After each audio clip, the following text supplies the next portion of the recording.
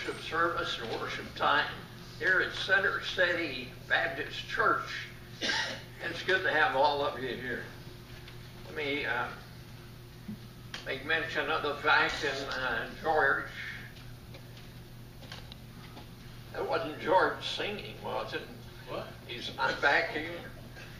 Anyway, George is here and he'll update you later on on all the prayer requests uh, that we have, including these two. But uh, Leslie Mann, in fact, is uh, uh, Sherry, is in the hospital this morning. Uh, she had uh, knee surgery, Yep. hip surgery, hip surgery done, and she is still in the hospital at this time. And uh, Sherry Mann. Okay. But again, George will update you on all of these, including Trissa Bennett. That's uh, Cora's grandmother. And uh, Trissa was in a horrible accident yesterday afternoon uh, and got rear-ended by a pickup or uh, by a truck. And that threw her in the path of another truck. And uh, I think they have said that she is uh, critical but stable. So I guess it means that uh, you know, hopefully she makes it. But if you would pray for Trissa Bennett and pray for both of the uh, Manns as a very, very, very difficult situation for the uh, two of them. Good to have you at church this morning, and uh, I'm looking around and I see no one else but George. Ah, George, we'll turn it over to you. well, I've got a scripture to read here to begin with. Psalms 57, verses 8 and 9 say, Awake, my soul, awake, harp and lyre. I will awaken the dawn. I will praise you, Lord, among the nations. I will sing of you among the people. Now let's do that. Let's all, I'll invite you to stand and we'll sing hymn number 113, just over in the glory land. We'll sing.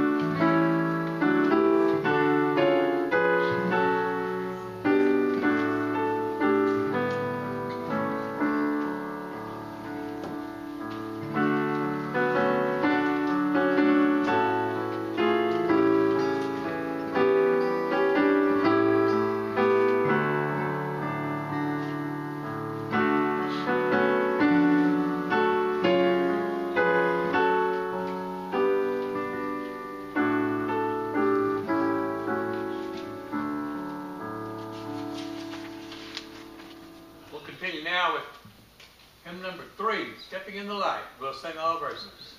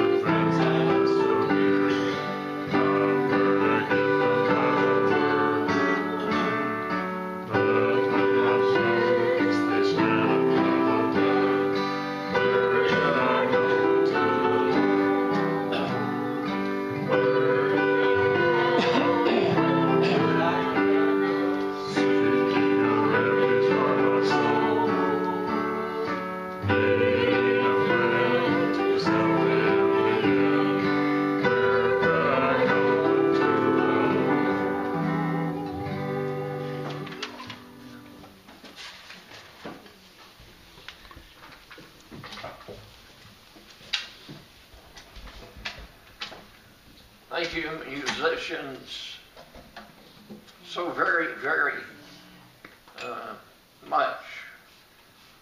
One of the things that I've noticed here at church is whether we have eight or we have three, sounds great. And I appreciate y'all, George and Dinah, so much. So very, very much. And our one singer this morning, thank you. Thank you so very much. Actually, she blends in with the other two. So, you know, Jesus, back when, used eight I am statements in the Bible. Eight I am statements. So if you had a real professional preacher, for the next two months, you'd be barraged with those statements. One a week. But since yours is gifted in other ways, I'm going to do all eight of them in about 10 minutes. No sense wasting time. Get it over with.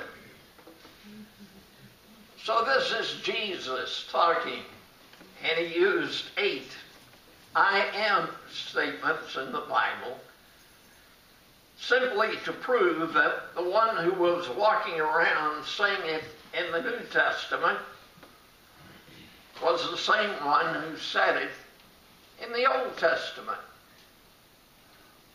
That's it. A lot of people got upset with him. Lots of people got upset with him. And so this morning, knowing what I've told you already, let's focus on the eight. First is in John. In fact is, let me tell you, the first seven are in John. So turn to John, and you find it in chapter 6 and verse 35. Jesus said to them, I am the bread of life.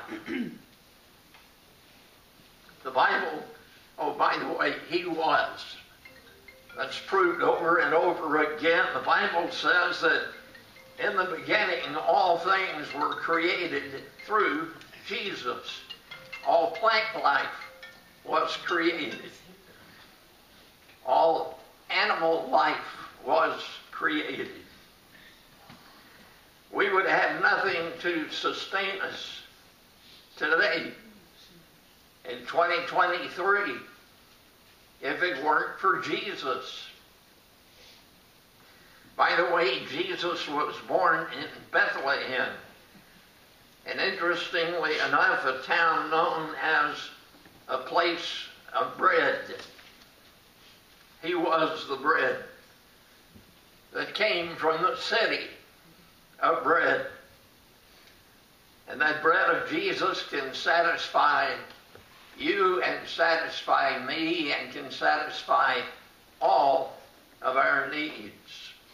Second one is John 8 12. John 8 12. Then Jesus spoke to them again, saying, I am the light of the world.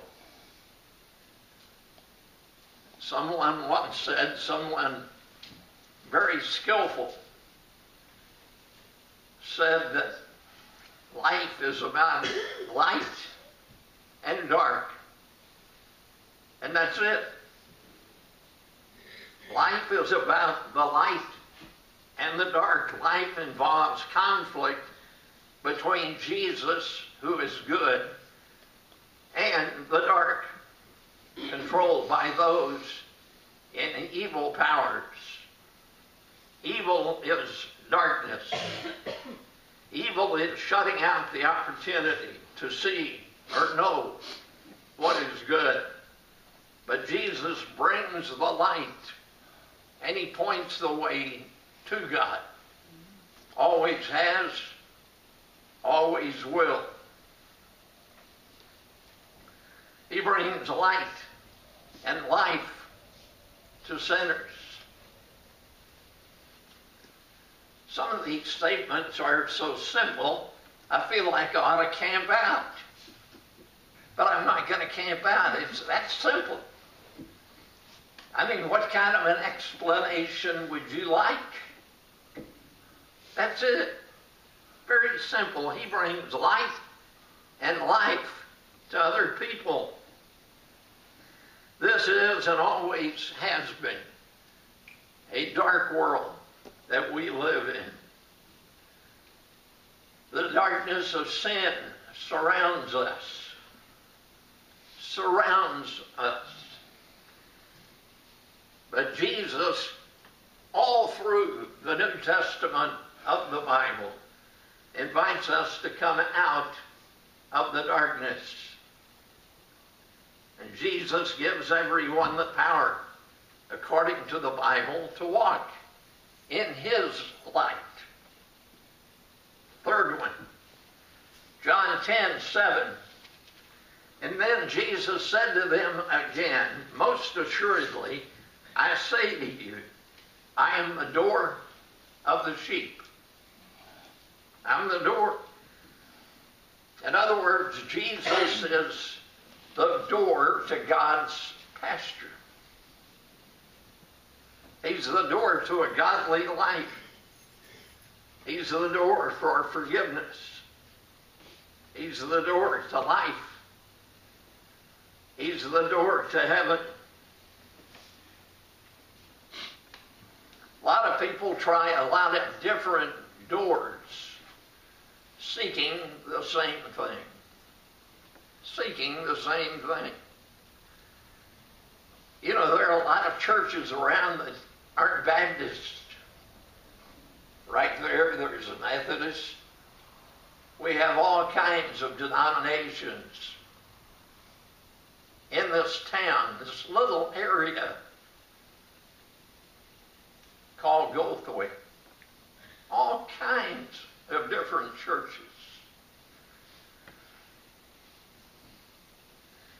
And so a lot of people try a lot of different things.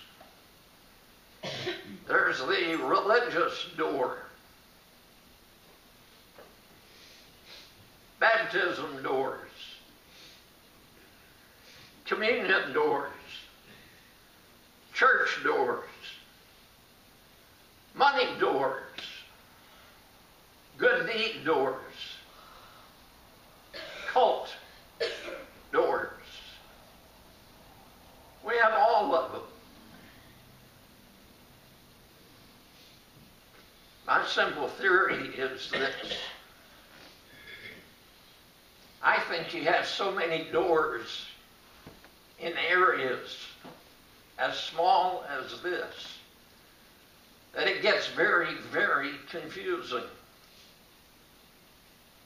Upsets a whole lot of people.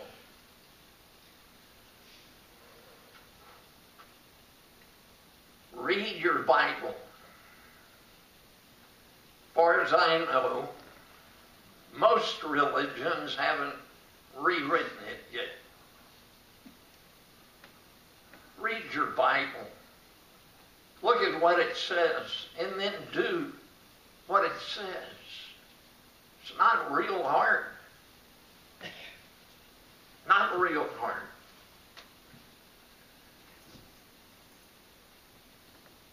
But all of these doors that I mentioned a moment ago fail. They fail because Christ alone is the door.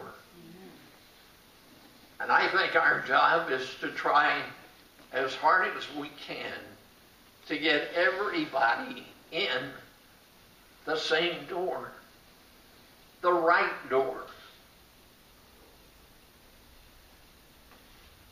Number four, John 10 11.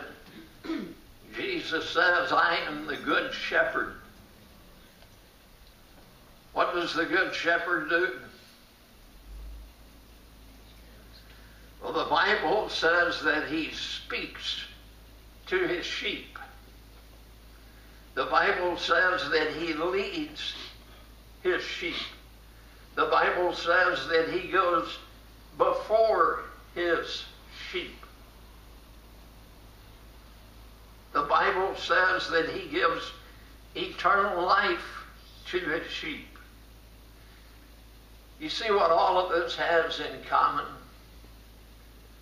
Yeah, it's Jesus and Jesus and Jesus and Jesus. But eventually, what human beings have to do is realize that they're his sheep. We are his sheep. You want real peace? Put yourself in the hands of the Good Shepherd. Next, John 11 25. I've lost count. John 11 25. Jesus said to her, I am the resurrection and the life. I am the resurrection and the life. Jesus was raised from the dead. And he became a way of resurrection for those who trust in him.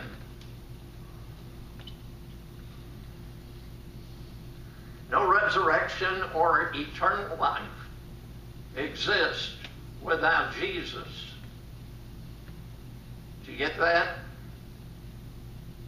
No resurrection, no life exists without Jesus. But time is no barrier to the one who has the power of resurrection and life.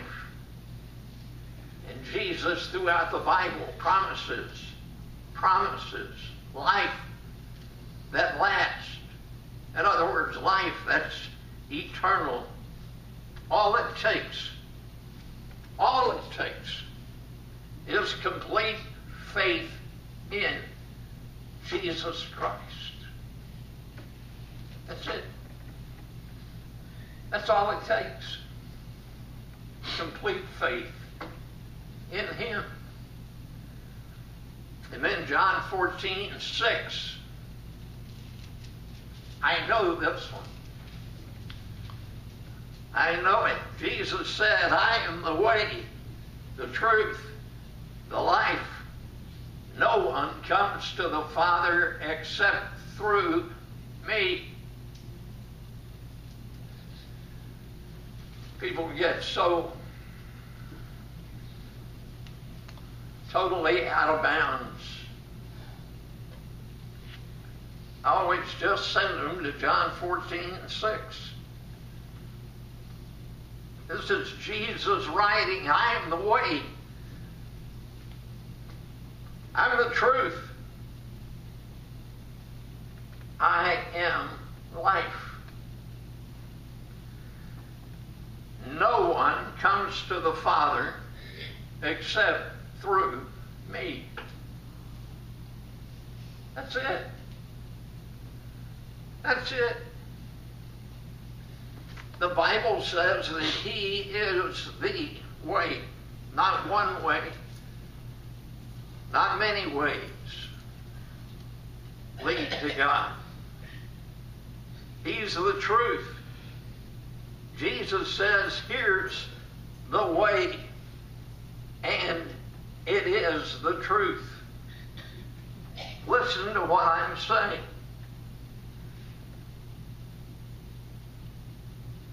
I think it's also worth noting that you can't just follow what Jesus did and go to heaven.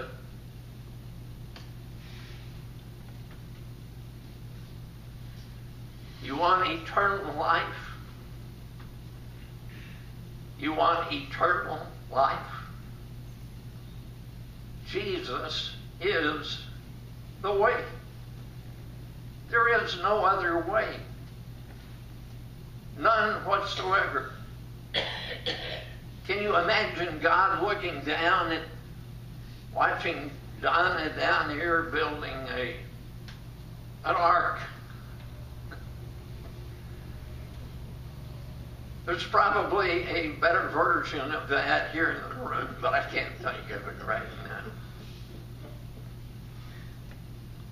But after so many years of building that ark, wouldn't it be refreshing just to hear someone say, hey, cut it out. Stop that. That's ridiculous. I told you.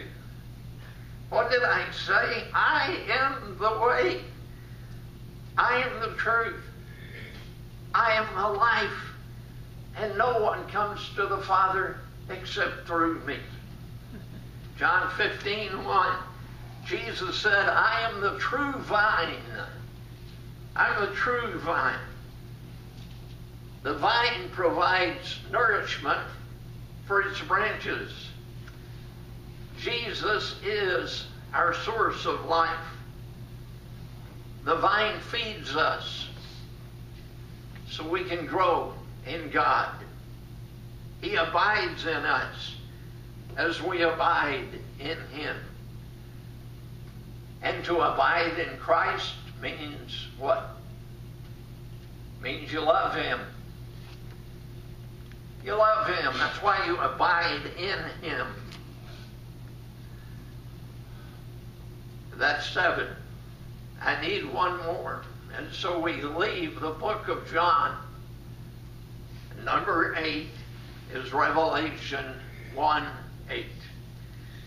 The Alpha and Omega, the beginning and the end.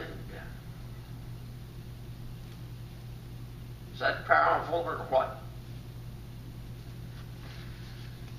The Alpha, the Omega, the beginning and the end. Alpha and Omega are the first and last letters of the Greek alphabet. What Jesus is saying is, I'm A to Z. I'm A to Z. I'm all you need. All you need. Every desire and need can be expressed in the alphabet. So, what's your problem today? Got the whole alphabet. S I N. Got it covered. F E A R, got it covered. D O U B T, got it covered. You know what I love to do? I love to give all my sins to Jesus. And I think to myself, he's going to be horrified, going to be petrified.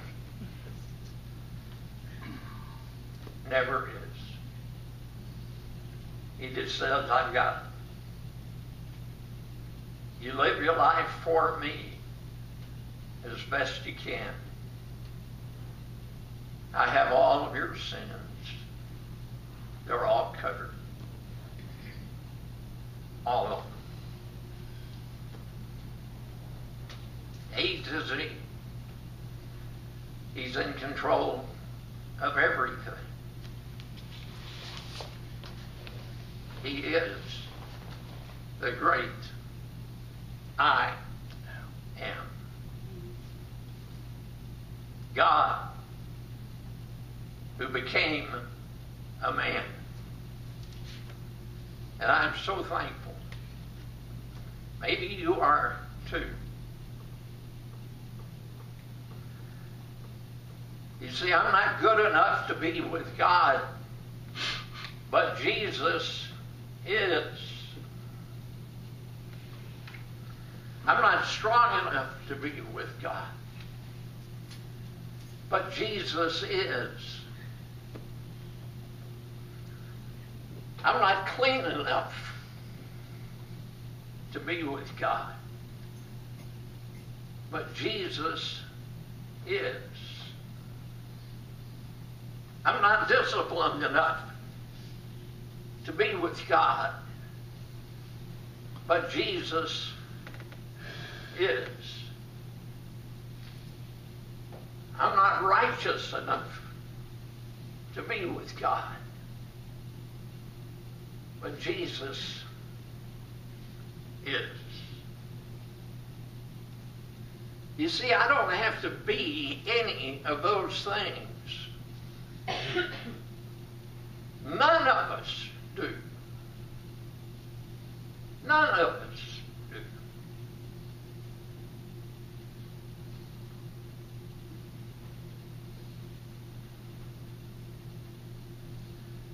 We just have to be with Jesus.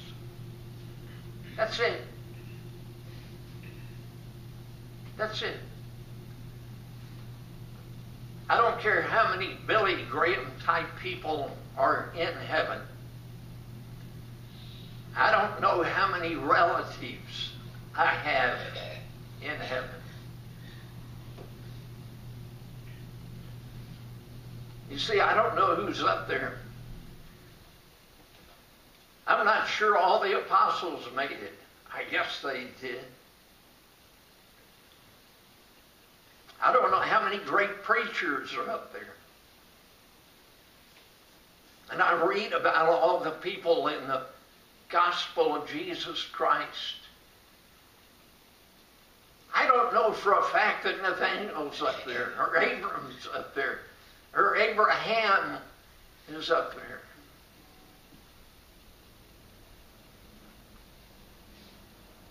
I don't know. I just know this much. If I'm in the presence of one of those people, I may or may not be okay. If I'm with Jesus, I am okay.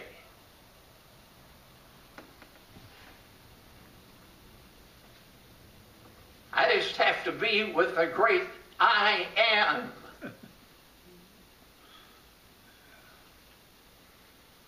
If somebody questions that, just tell them to turn to John, start reading.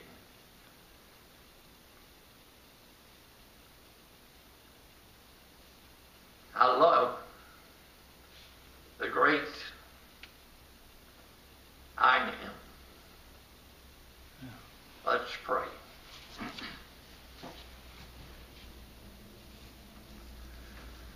Lord, I thank you for the opportunity you've given me today.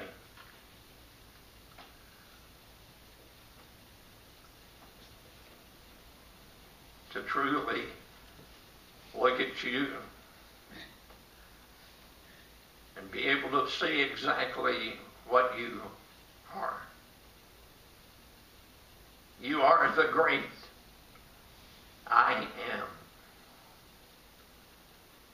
Doesn't matter what we're talking about. I am the bread. I'm the light. I am the door. I'm the good shepherd. I'm the resurrection. I'm the way, the truth, and the life. I am the true vine.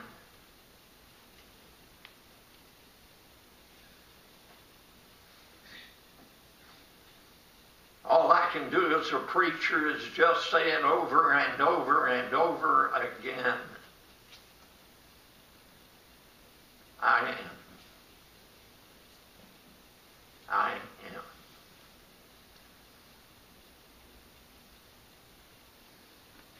And it's in your holy name I'm praying.